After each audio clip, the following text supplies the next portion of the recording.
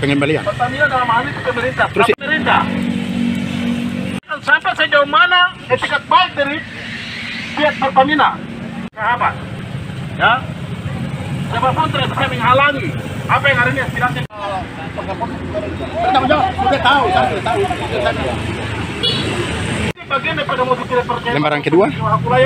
terhadap pihak Pertamina dan masyarakat pemilik hak rakyat sudah menang dua kali dalam putusan itu.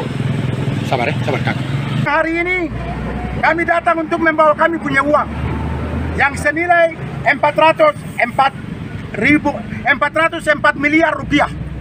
Dengan kemenangan hukum dengan kemenangan di dalam sidang nomor sidang pengadilan negeri Manokwari nomor 23 tahun 2021 itu kemenangan mutlak ada di tangan pihak pemilik hak rakyat ya.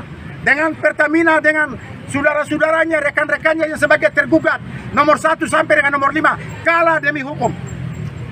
Kalah demi hukum. Jadi saya mau kasih tahu sama siapa penegak hukum di negeri ini.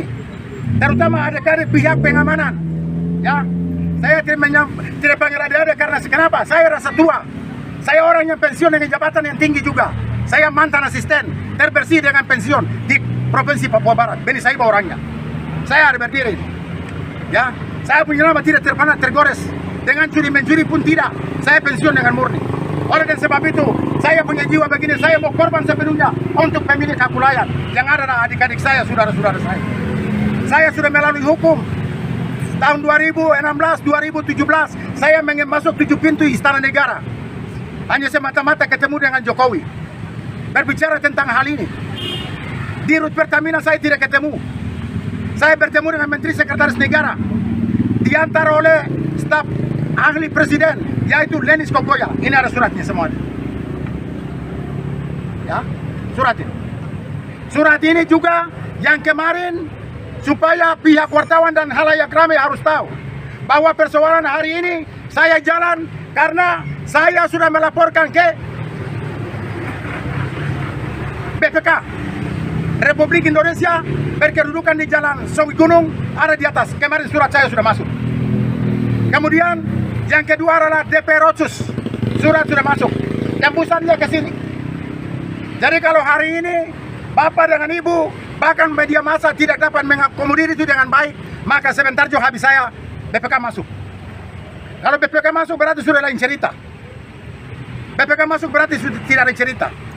Ya, kau mau berpangkat apakah berpangkat apa, kau mau apa jabatan apakah terada semua itu kalah di muka hukum.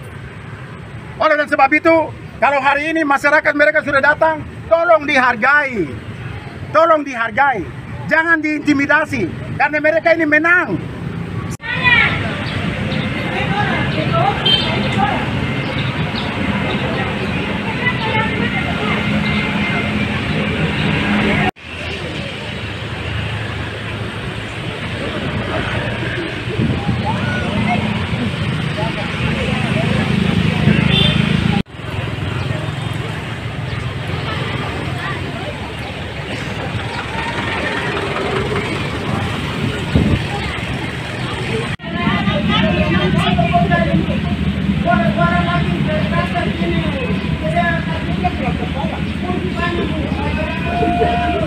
pemilik hak rakyat menang itu berarti segera pemerintah dalam hal ini Pertamina segera membayar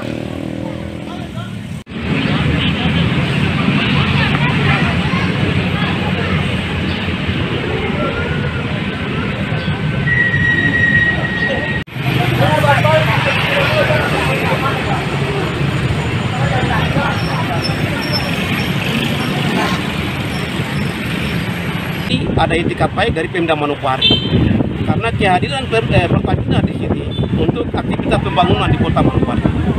Nah kalau ini dibiarkan dampaknya kan luas. Nah, Pertamina ini kan kita bisa bicara bahwa negara bilang Pertamina kan vital. Nah kenapa dari awal sampai hari ini saya melihat waktu itu cuma almarhum Bupati Demas yang bisa ada dengan masyarakat. Tapi hari ini pemalangan pertama dan kedua ini Pertamina seakan-akan eh, Pemda seakan-akan tidak mau tahu begitu. Jangankan Pemda, tapi DPR sendiri pun harus bijak untuk tanggapi karena ini berdampaknya kepada masyarakat yang ada di wilayah Manokwari.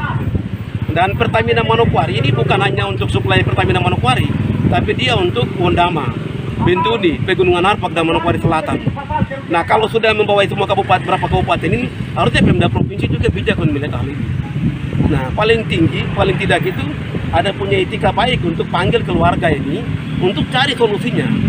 Nah, tidak dan Pertamina juga harus buka diri tidak harus berpatu kepada putusan pengadilan.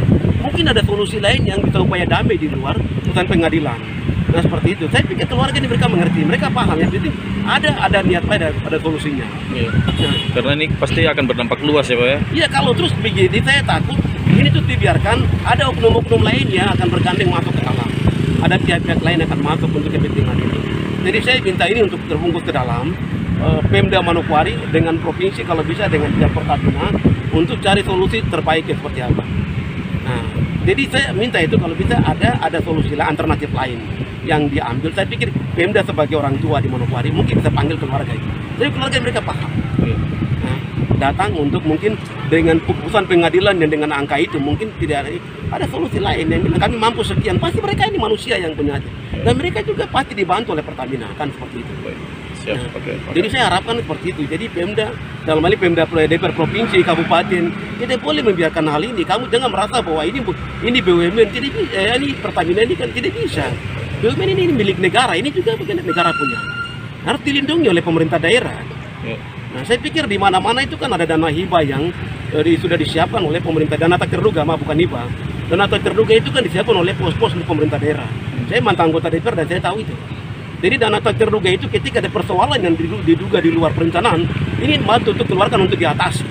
Nah, itu yang disebut dana tak terduga. Nah, kalau Pemda tidak siapkan itu berarti kan Pemda lalai, itu mesti ada. Baik. Itu wajib dan DPR harus kontrol bagian itu. Iya. Dan bagian ini kan di luar daripada ini yang dibilang dana tak terduga. Nah, ini kan dia harus keluar dari pos itu untuk membantu. Ketahui bahwa kehadiran Ada. masyarakat pemilik hak wilayah ada ada di depan Pertamina sini. Ya. Mereka yang datang ini ini pemilik hak wilayah. Ya. Ya. Ya, jadi sekali lagi bahwa kami tidak akan undur sampai kami tunggu gubernur ataupun bupati datang kemari sampaikan kapan dibayar atau hari ini dia mau bayar oke kami tunggu. Hormat. Surat sudah di Iya. Bapak Kapolres sudah sampaikan. Ya, selamat siang semua. Eh, warga masyarakat pemilik hak wilayah jangan eh, lihat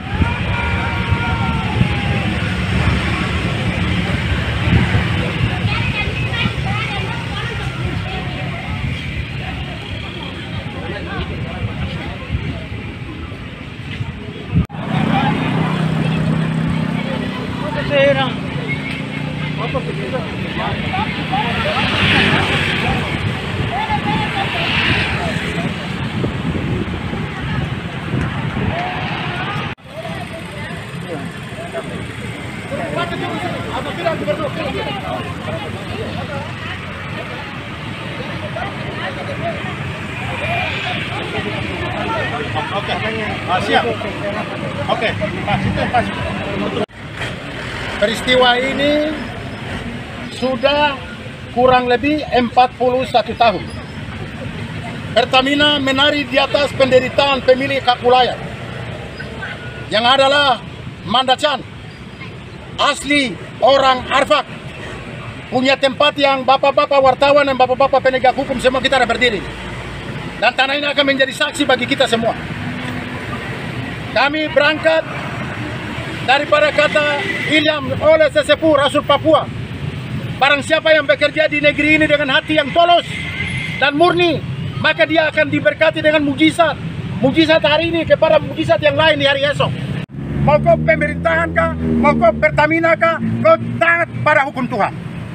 Hari ini kami datang, kami pemilik hak wilayah, kami tidak punya tempat yang begini di tanah Jawa.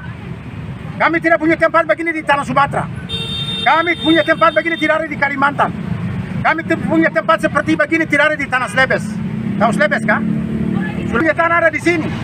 Oleh dan sebab itu, dengan adanya kehadiran kami untuk menghormati hari raya kami, hari Natal ini, supaya kami tidak datang untuk kedua kali lagi. Kami datang hari ini, kami datang untuk membawa kami punya uang yang senilai 404 ribu 404 miliar rupiah. Dengan kemenangan hukum dengan kemenangan di dalam sidang nomor sidang pengadilan negeri Manokwari nomor 23 tahun 2021 itu kemenangan mutlak ada di tangan pihak pemilik Kakulayan ya. Dengan Pertamina dengan saudara-saudaranya rekan-rekannya yang sebagai tergugat nomor satu sampai dengan nomor lima kalah demi hukum. Kalah demi hukum. Jadi saya mau kasih tahu sama siapa penegak hukum di negeri ini terutama ada dari pihak pengamanan. Ya saya tidak tidak panggil ada-ada karena kenapa? Saya rasa tua. Saya orang yang pensiun dengan jabatan yang tinggi juga. Saya mantan asisten terbersih dengan pensiun di provinsi Papua Barat. Beni saya orangnya. Saya ada berdiri. Ya saya punya nama tidak terpana tergores. Dengan curi mencuri pun tidak. Saya pensiun dengan murni oleh dan sebab itu saya punya jiwa begini saya mau korban sepenuhnya untuk pemilik Kakulayan yang ada adik-adik saya saudara-saudara saya. Saya sudah melalui hukum. Tahun 2016 2017 saya ingin masuk tujuh pintu istana negara. Hanya semata-mata ketemu dengan Jokowi. Berbicara tentang hal ini. Di Rut Pertamina saya tidak ketemu. Saya bertemu dengan Menteri Sekretaris Negara. Diantar oleh staf ahli presiden yaitu Lenis Kokoya ini ada suratnya semua ya surat ini surat ini juga yang kemarin supaya pihak wartawan dan halayak ramai harus tahu bahwa persoalan hari ini saya jalan karena saya sudah melaporkan ke BPK Republik Indonesia berkedudukan di Jalan Sawi Gunung ada di atas. Kemarin surat saya sudah masuk. Kemudian yang kedua adalah DP Rotsus. Surat sudah masuk. Tembusannya ke sini. Jadi kalau hari ini Bapak dengan Ibu bahkan media massa tidak dapat mengakomodir itu dengan baik, maka sebentar juga habis saya BPK masuk. Kalau BPK masuk berarti sudah lain cerita. BPK masuk berarti sudah tidak ada cerita. Ya, kau mau berpangkat apakah berpangkat apa, kau mau apa jabatan apakah terada semua itu kalah di muka hukum. Oleh dan sebab itu, kalau hari ini masyarakat mereka sudah datang, tolong dihargai, tolong dihargai, jangan diintimidasi karena mereka ini menang, sangat menang kali. Baru sekarang timbul pertanyaan bagi pihak Pertamina depot yang ada di Wosin. Kenapa dalam keadaan begini tidak hadirkan itu kejaksaan tinggi yang ada dalam pembela apa yang yang berpa, ya pengacara negara yang menangani pihak apa itu Pertamina. Pertamina. Kenapa tidak datang bertemu dengan saya? Hanya mau jadikan kita konflik. Orang konflik kan berarti tidak mengerti persoalan.